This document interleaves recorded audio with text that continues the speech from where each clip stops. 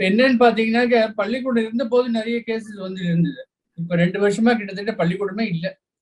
பள்ளிக்கூடமே இல்லாத போதும் இப்ப நிறைய விஷயங்கள் நம்ம ஆன்லைன்ல கூட எப்படி இந்த மாதிரி பாலியல் துன்புறுத்தல்களை ஏற்படுத்த முடியுங்கிற விஷயங்களை வந்து வெளியில வந்துட்டு இருக்கு. குறிப்பா இந்த பத்மா சேஷாத்ரி பள்ளிக்கூடம் அப்புறம் இந்த சுஷீல் ஹரி இன்டர்நேஷனல் ஸ்கூல் பேர் தான் இன்டர்நேஷனல் சாமியா இங்க ஓடி போயிட்டாரு.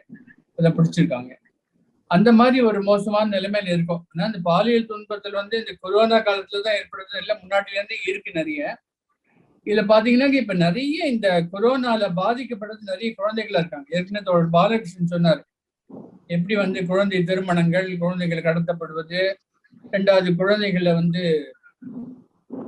பாலியல் துன்பத்துக்கு உட்படுத்துவது குழந்தை தொழிலாளர் முறை போன்ற பல்வேறு விஷயங்கள் அதிகரித்திருக்கிறது உண்மை. இப்ப கூட நாங்க சமீபத்துல ஒரு இந்த கொரோனா பாதிப்பினால எந்த அளவுக்கு ரொம்ப அடிமட்டத்துல உள்ள மக்களுடைய குழந்தைகளுடைய நிலைமை என்னவாக மாறி இருக்குன்னு பார்க்கறதுக்காக ஒரு ஆய்வு நடத்தினோம். அதுல பார்க்கும்பொழுது இருபத்தி நாலு மாவட்டங்களை நடத்தினோம். அதுல எழுபத் எழுநூறு பர்சன்ட் குழந்தை தொழிலாளர் எண்ணிக்கை அதிகமாயிருக்கு. பள்ளிக்கூடத்துல போயிட்டு இருந்த குழந்தைங்கள்ல இப்ப வெளியில பள்ளிக்கூடம் வேலைக்கு போகக்கூடிய ஒரு நிலைமை இந்த ஆன்லைன் எஜுகேஷன்கள் சாதாரண மக்களுக்கு சாமானிய மக்களுக்கு அது வந்து போய் சேரக்கூடிய விஷயமாக இல்லை. பல்வேறு காரணங்களால இப்ப இந்த கருத்தரங்கத்தினுடைய தலைப்பு அதிகத்தினால அது உள்ள நான் போக விரும்பல. ஆனா இந்த பள்ளிக்கூடங்கள்ல தொடர்ந்து சமூகத்துல தொடர்ந்து குழந்தைகளுக்கு எதிரான பாலியல் துன்புறுத்தல் நிறைய நடந்துட்டு இருக்கு ரெண்டாயிரத்தி பதினாறுல வந்து விமன் அண்ட் சைல்ட் டெவலப்மெண்ட் மினிஸ்ட்ரியில இருந்து சொன்ன ஒரு ஒரு ஆய்வு அறிக்கையில கிட்டத்தட்ட ஐம்பதுல இருந்து அறுபது சதவீத குழந்தைகள் ஐம்பதுல இருந்து அறுபது சதவீத மக்கள் வந்து அவர்கள் குழந்தைகளாக இருந்தபோது ஏதோ ஒரு வகையில் பாலியல் துன்பத்திற்கு ஆளாக்கப்பட்டிருக்கலாம் சொல்லியிருக்காங்க. அதுல யார் அதை பண்றாங்கன்னு பார்த்தா கூட இருக்கிறவங்களே ஃப்ரெண்ட்ஸு சொந்தக்காரங்க ரிலேட்டிவ்ஸ் தெரிஞ்சவங்க அறிஞ்சவங்க பக்கத்து வீட்டுக்காரங்க. இந்த மாதிரி உள்ளவங்க வந்து அதிகமா இந்த மாதிரி பாலியல் துன்பத்தில் ஈடுபட்டிருக்கா அந்த சர்வேல சொல்லியிருக்காங்க. ஆனா நம்ம என்ன நினைக்கிறோம்? ஸ்கூல் வந்து ரொம்ப குழந்தைங்களுக்கு ஒரு பாதுகாப்பான இடம். ஸ்கூல் தான் சேஃபான இடம்னு நினைக்கிறோம்.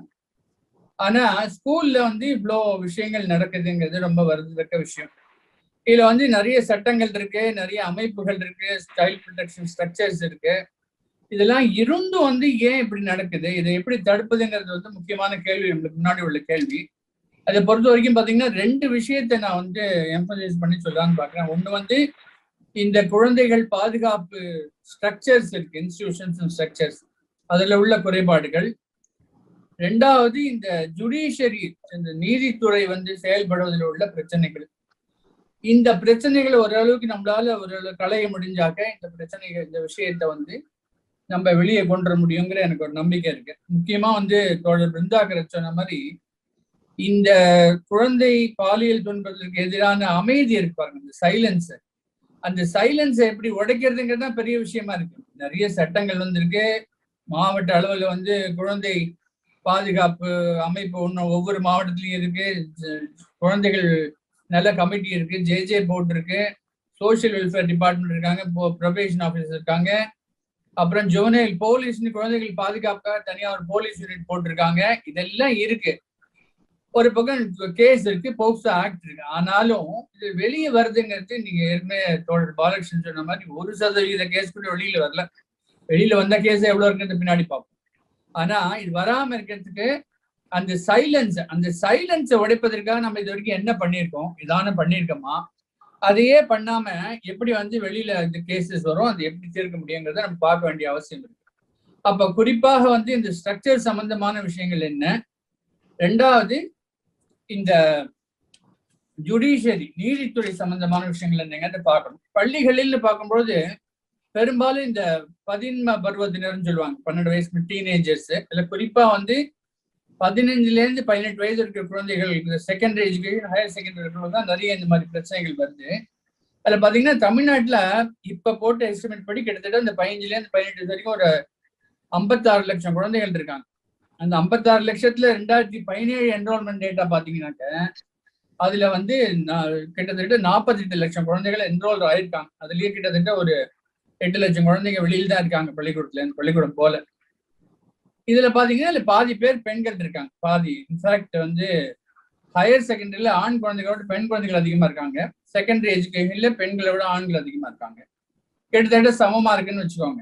இதுல இன்னொரு முக்கியமான விஷயம் என்னன்னு சொன்னா இந்த செகண்டரி ஸ்கூல்ல கிட்டத்தட்ட 52% ரெண்டு சதவிகிதம் வந்து தனியார் பள்ளிகள். செகண்டரி எஜுகேஷன் போற குழந்தைங்க. ரெண்டாவது ஹையர் செகண்டரியில கிட்டத்தட்ட ஐம்பத்தி மூணு புள்ளி மூணு சதவீத குழந்தைகள் வந்து தனியார் பள்ளியில படிக்கிறாங்க. இப்ப இந்த குழந்தைகள் பாலியல் துன்பத்தல் பார்க்கும் பொழுது சரிபாதிக்கு மேல வந்து பிரைவேட் ஸ்கூல்ஸ்ல உள்ள விஷயங்களை பார்க்க வேண்டிய அவசியம் இது ஏதோ கவர்மெண்ட் ஸ்கூல் சம்பந்தப்பட்ட விஷயம்னு நினைச்சு கூடாது இல்ல பொதுவான கல்வி சம்பந்தப்பட்ட விஷயம் கிடையாது. அப்ப இந்த பிரைவேட் ஸ்கூல்ல வந்து என்ன பண்ண முடியும்? அங்கே நிறைய ரெகுலேஷனே கிடையாது பிரைவேட் ஸ்கூல்ல அது ஒரு பெரிய பிரச்சனை. நம்மளுக்கு எல்லாருக்கும் தெரியும் அவங்களுக்குள்ள பொலிட்டிக்கல் இன்ஃபுளுன்ஸ் போன்ற பல்வேறு விஷயங்களை வச்சு இது நாள் வரைக்கும் தப்பிச்சுன்னு வந்திருக்காங்க. புதிதாக புதிதா வந்திருக்கக்கூடிய அரசாங்கம் அந்த விஷயங்கள்லாம் கணக்குல எடுத்துட்டு தீவிரமான நடவடிக்கை எடுக்கணும்னு நம்புறோம். ஒவ்வொரு ஸ்கூல்லயும் இந்த ஐசிசி இருக்கணும் இன்டர்னல் கம்ப்ளைண்ட்ஸ் கமிட்டி அது போடல அப்புறம் வந்து இந்த ஒரு இது முன்னாடியே வந்து சர்வ சிக்ஷா அபியான் அனைவருக்கும் கல்வின்னு ஒன்று இருந்தது. அப்புறம் ஆர்எம்எஸ்சின்னு ஒன்று கொண்டு வந்தாங்க ராஷ்டிரிய மத்தியம சிக்ஷா கேந்திரம் செகண்டரி எஜுகேஷனுக்காக இப்போ அது எல்லாத்தையும் மெர்ஜ் பண்ணி சமர்க சமக்ரா சக்ஷா அபியான்னு ஒன்று கொண்டு வந்திருக்காங்க. இது தமிழ்நாடு அரசாங்கம் தமிழ்நாட்டிலையும் இருக்கு. இதுல என்ன பண்றாங்க இந்த செகண்ட் எஜுகேஷன் ஃபண்ட்ஸ் எல்லாம் அனுப்புறதெல்லாம் எல்லாம் சேர்த்து எல்லாம் இந்த எலிமெண்டரி எஜுகேஷனுக்கு போயிடுது. அதுல ரொம்ப குறைவாக தான் செலவு பண்ணப்படுது. ரெண்டாவது அந்த மாதிரி ஸ்கீம்ல இந்த குழந்தைகள் பாதுகாப்பு இந்த குழந்தைகள் பாலியல் துன்பத்தை எப்படி தடுப்பது அதற்கு என்ன செய்யணுங்கிற விஷயங்கள ஒண்ணுமே கிடையாது. அனைவருக்கும் கல்வினா எல்லாரும் பள்ளிக்கூடம் வந்தா போருமா? அவங்க பிருந்தாக்கரை சொன்ன மாதிரி பள்ளிக்கூடம் ஒரு பாதுகாப்பான இடமா இருக்க வேண்டாமா? அந்த மாதிரி இல்ல. இப்ப அதற்கு என்ன பண்ண முடியுங்கிற விஷயத்தையும் நம்ம பார்க்கணும். நிறைய இடத்துல வந்து செகண்டரி ஸ்கூலுக்கு வந்து பெண்கள் போகிறது என்பதே பாத்தீங்கன்னா பாதுகாப்பா இல்லை. நிறைய இப்போ தருமபுரியெல்லாம் கேசஸ்லாம் வந்து பள்ளிக்கூடத்துக்கு போயிட்டு வரும்போது நடந்து வர வழியிலேயே பெண் குழந்தைகள் வந்து பாலியல் துன்புறத்துக்கு ஆளான விஷயங்கள்லாம் நம்ம பார்த்தோம். இப்ப அந்த மாதிரி நிறைய இருக்கு. ஏற்கனவே அந்த நிர்பயா இது வரும்போது எங்கெல்லாம் அந்த மாதிரி பாதுகாப்பு இல்லாத இடங்கள் இருக்கோ அதெல்லாம் பார்த்து போலீஸ் காவல் போடணும்னு எல்லாம் சொன்னாங்க. ஆனா சொன்னதோட சரி ஒன்றும் நடக்கல இது வரைக்கும். அப்புறம் இந்த ஸ்ட்ரக்சர்ஸ்னு பாத்தீங்கன்னாக்க த- தமிழ்நாடு அளவுல மேலே வந்து Tamil Nadu state child protection committee இருக்கு. டிஎன்எஸ்சிபிசிஆர்னு சொல்லி. State committee for commission for protection of child rights அமைப்பு இருக்கு. அது தவிர ஒவ்வொரு மாவட்டத்திலையும் டிஸ்ட்ரிக்ட் சைல்ட் ப்ரொடெக்ஷன் யூனிட் இருக்குல்ல பத்துல இருந்து பன்னெண்டு பேர் வேலை செய்யறாங்க அப்புறம் சிடபிள்யூசின்னு ஒரு சைல்ட் குழந்தைகள் பாது வெல்ஃபேர் கமிட்டி அதுல அஞ்சு பேர் இருக்காங்க. ஜேஜே போர்டு இருக்கு மேஜிஸ்ட்ரேட் அது அஞ்சு பேர் இருக்காங்க. அப்புறம் ஜோனல் போலீஸ் யூனிட் இருக்கு. இது இல்லாம சோஷியல் வெல்ஃபேர்ல தான் அந்த சைல்ட் மேரேஜ் தடுக்கிற ஆஃபீஸர்ஸ் இருக்காங்க ப்ரொபேஷன் ஆஃபீஸர்ஸ் இருக்காங்க. அப்புறம் வந்து ஸ்கூல் ஸ்கூல் தான் ஒரு டிஃபேக்டோ சைல்டு ப்ரொடெக்ஷன் யூனிட்டா இருக்க முடியும். ஏன்னா குழந்தைகள் வெளியில வரும்போது குழந்தைகளுக்கு பாதுகாப்பு கொடுக்கறதுக்கு ஏராளமான ஸ்கூல் டீச்சர்ஸ் இருக்காங்க. இவ்வளவு பேர்லாம் இருந்தும் கூட இந்த விஷயங்கள் நடக்குது. அப்புறம் ஜுடிஷியரி இருக்கு. ஜுடிஷியரி போன்ற பல்வேறு அமைப்புகள் இருக்கு. இல்ல அது தவிர வந்து நிறைய இந்த இவங்க சொன்ன மாதிரி என்ஜிஓஸ் நிறைய ஒர்க் பண்றாங்க. அது தவிர இந்த சைல்ட் ப்ரொடெக்ஷன் ஆக்ட்ல ஒவ்வொரு கிராமத்துலயும் ஒரு குழந்தைகள் பாதுகாப்பு கமிட்டி போடணும்னு சொல்லி சட்டத்துல இருக்கு. எல்லாத்துலயும் கமிட்டி போட்டிருக்காங்க. ஆனா அந்த கமிட்டில யார் இருக்காங்க? அந்த கமிட்டி என்ன செயல்படுது? அப்படின்னு யாருக்குமே தெரியாது. எல்லாம் ஒரு ஆக்டிவான கமிட்டி அதுல பேப்பர்ல தான் இருக்கு அந்த கமிட்டி இப்போ இந்த விஷயங்கள்லாம் பார்க்கணும் நம்ம. ரெண்டாயிரத்தி பதினெட்டுல நாங்க ஒரு சேலம் தருமபுரியில் நடந்த பாலியல் துன்பத்துக்கு ஒரு இன்வெஸ்டிகேஷன் போனோம். தோல் வாலண்டினா கூட அந்த கமிட்டியில இருந்தார் அதுல பார்க்கும்போது பார்த்தாக்க அந்த அந்த பைனட்ல பார்க்கும்போது கிட்டத்தட்ட ஒரு நூறு கேஸ் வந்து டீச்சர்ஸ் வந்து இந்த மாதிரி பாலியல் துன்புறுத்தல் ஈடுபட்டாங்கன்னு கேஸ் வந்திருந்தது. ஏற்கனவே தமிழ்நாடு கவர்மெண்ட்ல ரெண்டாயிரத்தி பன்னெண்டுல ஒரு government order one twenty one ஒன்று வந்தது. இந்த மாதிரி கேஸ் யார் மேல ரிப்போர்ட் பண்ணா அவங்கள உடனடியாக சம்மரிலி தே ஷுட் பி டிஸ்மிஸ்ன்னு சொல்லி அவங்கள உடனடியாக டிஸ்மிஸ் பண்ணுன்னு சொல்லி அந்த ஜிஓல இருந்தது. ஆனா இந்த நூறு பேர் மேலேயும் பாத்தீங்கன்னாக்க ஒருத்தரை கூட யாரையும் டிஸ்மிஸ் பண்ணல. எல்லாத்தாலையும் ஒரு டெம்பரரி சஸ்பென்ஷன் போன்ற விஷயங்கள் தான் இருந்தது. இதுல முக்கியமான விஷயம் என்னன்னு சொன்னா இந்த ரெகுலேஷன் தனியார் பள்ளிகளுக்கு செல்லாது. தனியார் பள்ளிகளுக்கு இந்த ரெகுலேஷன் சட்டம்லாம் கிடையாது. இந்த கவர்மெண்ட் ஆர்டர் தனியார் பள்ளிகளுக்கு கிடையாது. அப்படிங்கிற ஒரு நிலைமை இருந்தது. இப்ப இந்த மாதிரி இருக்கும்பொழுது இந்த சைல்ட் ப்ரொடெக்ஷன்ல கூட இன்னொரு விஷயம் என்ன சொல்றாங்க இந்த எஸ்சிபிசிஆர் ஆக்ட்லயே இந்த எஸ்சி மாவட்ட மாநில அளவில் உள்ள குழந்தைகள் பாதுகாப்பு பாதுகாப்பு கமிட்டி வந்து இந்த கேசஸ் எல்லாம் எப்படி நடக்குது என்ன பண்ணுறது மானிட்டர் பண்ண ரெகுலரா ஆனா அது பண்றதே கிடையாது. அப்புறம் வந்து போப்ஸ் ஆக்ட்ல கூட சொல்லியிருக்காங்க.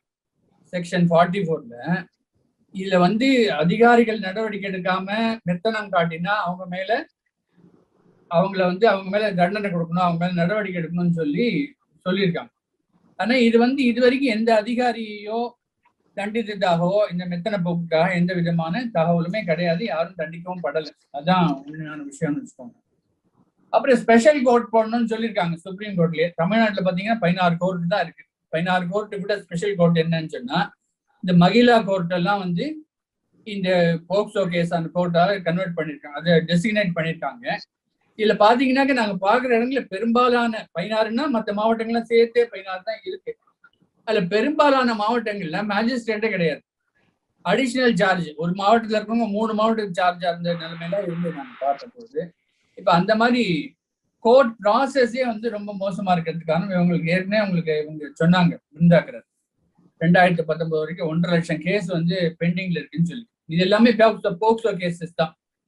இதுல மொத்த கேசஸ்ல இது முப்பத்தி ரெண்டு பர்சன்ட் இந்த ஒன் பாயிண்ட் ஃபைவ் லேக்ஸுங்க இதுல பாத்தீங்கன்னா ரெண்டாயிரத்தி இருந்தாலும் பாத்தீங்கன்னா தொண்ணூத்தொன்பது பர்சன்ட் கேஸ் வந்து எல்லாமே வந்து இந்த பாலியல் துன்புறுத்தல் தொண்ணூத்தொன்பது பர்சன்ட் வந்து பெண் குழந்தைகள் பாதிக்கப்பட்டது. ஒரு பர்சன்ட் ஆண் குழந்தைகள் இருக்காங்க. ஆனா பெரும்பாலும் வந்து பாதிக்கப்பட்டது பெண் குழந்தைகள் தாங்க நம்ம முக்கியமா பார்க்கணும். இதுல என்னன்னா டிலே இன் சார்ஜ் ஷீட் நாங்க பார்த்ததுல என்ன ஆச்சுன்னா ஒரு குழந்தைகளுக்கு பாலியல் துன்புறுத்தல் ஏற்படுத்தி அதுக்கு வந்து சார்ஜ் ஷீட் போலீஸ் போடணும். அது போடுறதுக்கு அவங்க என்ன சொல்றாங்க அந்த கெமிக்கல் ரிப்போர்ட் அந்த குழந்தைய வந்து மருத்துவ பரிசோதனை செய்யும் போது அந்த கெமிக்கல் ரிப்போர்ட் வந்து சென்னையில ஒரே இடத்துல தான் இருக்கு. தருமபுரியில சென்னைக்கு அமிச்சு அந்த ரிப்போர்ட் வர்றதுக்கே பத்து மாசம் ஆச்சு. அதுக்கப்புறம் தான் அவங்க அந்த சார்ஜ் ஷீட் போடுறாங்க. அது என்னன்னு சொன்னா அதை வந்து இந்த ப்ராசஸ் எப்படி வந்து வேகமாக்க முடியுங்கிறத பார்க்கணும் நம்ம. இதனாலேயே ஒரு மூணு மாசத்துக்குள்ள இந்த கேஸை முடிக்கணும்னு இருக்கு. ஆனா முடியறது இல்லை அதான் பிரச்சனை. பாத்தீங்கன்னாக்க ரெண்டாயிரத்தி பத்தொன்பதுல மட்டுமே கிட்டத்தட்ட அந்த வருஷத்து கேஸ் ஐம்பதாயிரத்தி ஐநூத்தி இருபத்தஞ்சு கேஸ் பெண்டிங் இந்தியாவில். அதுலயும் வந்து டோட்டல் பெண்டிங் கேஸ் பாத்தீங்கன்னா ரெண்டாயிரத்தி பத்தொன்பதுல ஒரு லட்சத்து அறுபதாயிரம் கேஸ் பெண்டிங்ல இருக்கு. இதுல என்ன விஷயம் சொன்னா இதுல எவ்வளவு பேருக்கு ட்ரையல் கம்ப்ளீட் ஆயிருக்குன்னு பார்த்தா ஒரு வருஷத்துக்குள்ள கம்ப்ளீட் பண்ணணும். ஆனா இதுல வெறும் ஐயாயிரத்தி முன்னூத்தி அறுபத்தாறு கேஸ் தான். ஒன் ஒரு லட்சத்து அறுபதாயிரம் கேஸ் எங்க?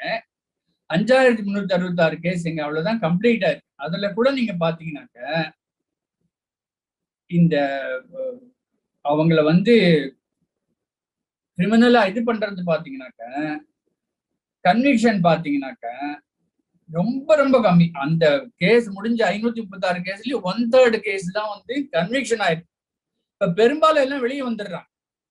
இன்னொரு பக்கம் பாத்தீங்கன்னா கீழ் கோர்ட்ல வந்து அவங்களுக்கு தண்டனை கொடுக்குறாங்க. மேல் கோர்ட்ல ஹை கோர்ட்ல போய் அந்த தண்டனை ரத்தாகி விடுதலையாகி வராங்க. நிறைய கேஸ் அந்த மாதிரி இருக்கு.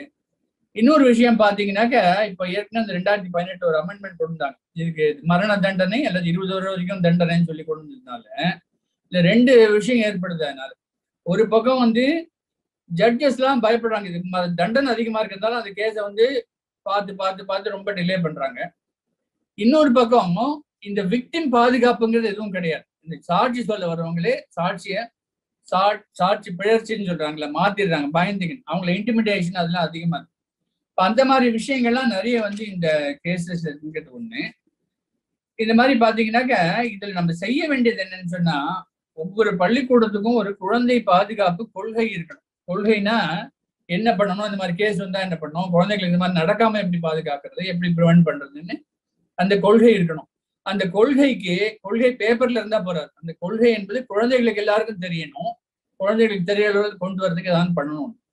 ரெண்டாவது குழந்தைங்களுக்கு பேசுவதற்கோ தங்கள் விஷயங்களை ஷேர் பண்றதுக்கோ எந்த விதமான அரங்கமுமே இல்லை. பள்ளிக்கூட்டுல கிடையாது. பள்ளிக்கூட்டுல மார்க் மார்க் மார்க் ரிசல்ட்ங்கிறது தான் போயிட்டு இருக்க வழிய இந்த படிப்பை தவிர வேற விஷயங்களை சொல்றதுக்கு இல்லை. அந்த ஏஜ் அப்ராப்ரியேட் செக்ஸ் எஜுகேஷன் ரொம்ப முக்கியம். குழந்தைங்களுக்கு லைஃப் ஸ்கில் எஜுகேஷன் ரொம்ப முக்கியம். இதெல்லாம் சும்மா பேருக்கு ஆரம்பிச்சாங்க அது ஒன்றும் நடக்கல. அந்த விஷயங்களை வந்து கண்டிப்பா பள்ளிக்கூடங்கள்ல கொண்டு போகணும். ஏஜ் அப்ராப்ரியேட் செக்ஷுவல் எஜுகேஷன் முக்கியம். அப்புறம் வந்து ஒரு ஹெல்த்தியான செக்ஷுவல் டெவலப்மெண்ட்னா என்னங்கிறத இப்போ வளரை நம்பர் ஒருத்தனுக்கு சொல்லக்கூடிய விஷயங்கள் இருக்கணும். இதெல்லாம் தெரிஞ்சாதான் அவங்க வந்து தங்களை இந்த பாலியல் துன்பத்திலேருந்து பாதுகாத்து கொள்ள முடியும். அதெல்லாம் இல்லாம ஒரு பாலிசி இருக்கு சட்டம் இருக்கு இதெல்லாம் இருந்தாலும் கூட இதை நடைமுறைப்படுத்துவதற்கு குழந்தைங்க ஃப்ரீயா தங்களை விரும்பினதை சொல்றதுக்கு பயம் இல்லாம சொல்றதுக்கு ஏதானு ஒரு ஏற்பாடு இருக்கணும். அந்த மெக்கானிசமே கம்ப்ளீட்லி லேக்கிங் எந்த பள்ளிக்கூடத்தையும் அந்த மெக்கானிசம் கிடையாது. ஒரு புகார் பெட்டின்னு வச்சிருக்காங்க. அது பெரும்பாலும் பிரின்சிபால் ஸ்கூல் வாஸ் ஆஃபீஸ் வாசல்ல இருக்கும். எந்த குழந்தையும் இப்போ அங்கே போடுறதுக்கே பயப்படுவாங்க. அது மட்டும் போட்டால் மட்டும் போறாது. அந்த எடுத்து ஓபன் பண்ணுறது போன்றவங்க வெளியில உள்ள ஆர்வலர்களும் அதில் இருக்கணும் இந்த கமிட்டி இருக்கணும். பேரண்ட்ஸ் டீச்சர்ஸ் அசோசியேஷன் சொன்னாங்க. அந்த அந்த பேரண்ட்ஸோட ரெப்ரசன்டேட்டிவ் இருக்கலாம். இவங்கெல்லாம் சேர்ந்து அந்த புகார் பெட்டி ஓபன் பண்ணுறது இல்லை இதற்கான ஒரு அமைப்பு ஒவ்வொரு பள்ளிக்கூடத்திலும் நிச்சயமா இருந்தாகணும். கவுன்சிலர் உட்பட இந்த மாதிரி கேசஸ் வந்தால் அதை வந்து எப்படி ரிப்போர்ட் பண்றது தைரியமா குழந்தைகள் வந்து ரிப்போர்ட் பண்றதுக்கான ஒரு சூழலை ஏற்படுத்தணும். அந்த மாதிரி ஒரு